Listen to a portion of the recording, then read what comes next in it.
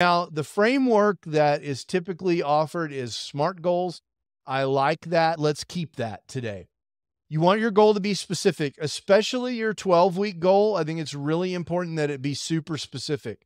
I am going to get my email newsletter list up and running. I'm going to create a landing page and it's going to be working. And I'm going to have the first 10 emails in there, whatever it is. And I'm going to do that by March 31st and it needs to be measurable. You heard all those numbers in there. I'm going to have 10 emails and 47 subscribers and all of these things by March 31st. And it needs to be achievable. This goal can't be something that's impossible. I'm going to have 42 billion subscribers. And actually, you know, that might even be achievable, not 42 billion. You might be able to have a ridiculous goal.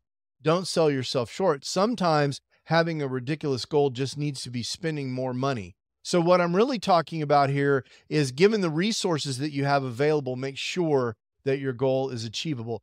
Obviously, it needs to be relevant. That's the R in the SMART goal process. We've already taken care of the relevance because we have a 12 week goal that supports our 2024 goal that supports our three to five year vision. So